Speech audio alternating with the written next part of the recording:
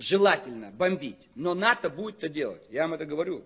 Здесь, в центре Европы, у НАТО нет других планов, кроме ведения войны. И главная цель – война с Россией. Но напрямую они боятся, поэтому будут бомбить по периферии. Кавказ, Балканы, Ближний Восток, Дальний Восток. Напрямую с Россией они не пойдут.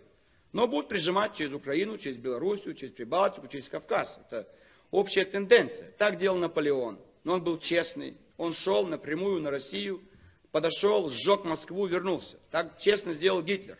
Напрямую, на танках. Он шел до Москвы, но не удалось ему. НАТО хитрит.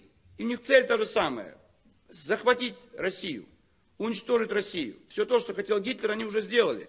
Расчленение Советского Союза, подавление экономики, уничтожение армии. То есть все то, что хотел Гитлер, НАТО уже практически на 70% сделало. Только надо флаг еще не развивается в Москве.